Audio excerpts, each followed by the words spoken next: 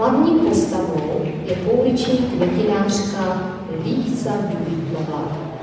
Trochu pomatená, ale slušná a celkem pěkná dívka.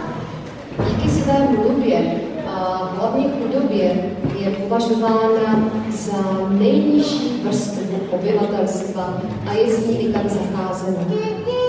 Nakonec se jí podaří naučit se správně mluvit a dokonce se z ní stane opravdová dáma.